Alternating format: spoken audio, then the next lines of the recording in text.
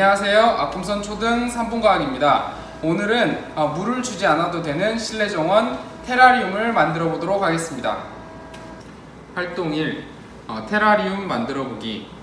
어, 먼저 테라리움을 만들기 위한 준비물을 설명하도록 하겠습니다. 첫 번째, 식물, 그리고 무종삽, 다음 플라스틱 용기. 이때 플라스틱 용기는 어, 식물의 크기를 고려해서 준비를 해야 만들기가 용이합니다. 네, 그리고 어, 거름흙, 그 다음에 테이퍼와 가위, 그다음 마지막으로 이 분무기가 필요합니다. 아, 안에 물이 들어 있어야 하고요. 자, 첫 번째로 어, 플라스틱 용기 하나를 집어서 거름흙을 어, 식물을 지지할 만큼 정도 넣어줍니다. 식물의 크기가 크면 조금만 넣어주면 되고요. 식물의 크기가 작다면 3분의 1 정도 좀 많이 넣어주면 되겠습니다. 선생님은 식물이 크니까 이 정도만 넣어주고 하도록 하겠습니다.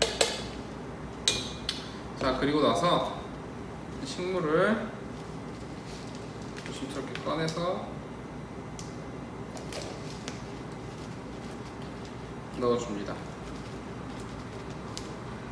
선생님은 이 식물의 크기가 커가지고 어, 더 이상 거름을 덮지 않아도 될 정도인데 혹시 이 흙의 크기가 작아서 어, 공간이 많이 남는다면 거름 흙을 넣, 더 추가로 넣어서 덮어주면 되겠습니다.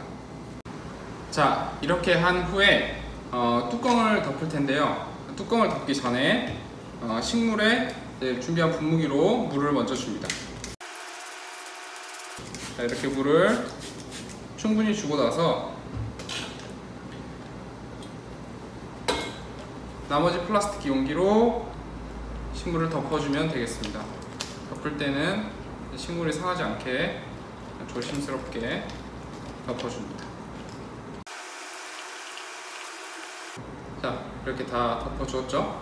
그러고 난 뒤에는 이거, 이 틈을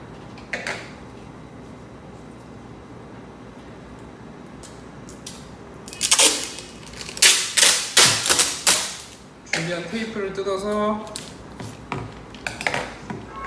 일봉해 주겠습니다.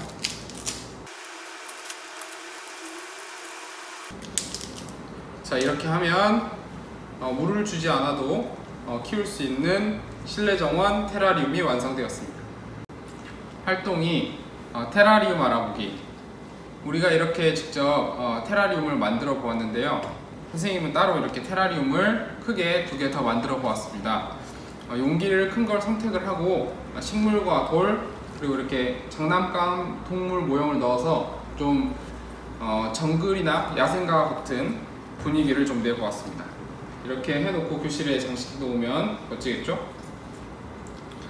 어, 테라리움 만들 때 식물을 선택할 때는 어, 이 안에서 커야 하기 때문에 비교적 좀 생장이 느린 그런 식물을 선택하는 게 좋겠습니다.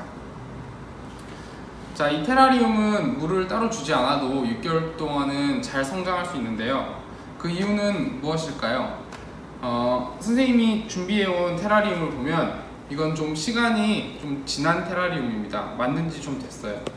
옆에 보면 물기가 이렇게 맺혀 있는 게 보이죠?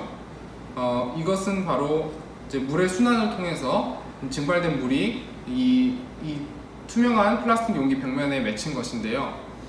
여러분이 이 단원을 배우면서 어, 물의 순환에 대해서 배우게 될 텐데 이 단원을 배우는 동안 여러분이 직접 만든 테라리움을 관찰하면서 어, 물의 순환에 대해서 직접 경험하는 어, 기회가 되었으면 좋겠습니다. 자 이상으로 어, 물을 주지 않아도 살 수 있는 실내 정원 테라리움 만들기 실험편을 마치도록 하겠습니다. 감사합니다. 아꿈선 3분과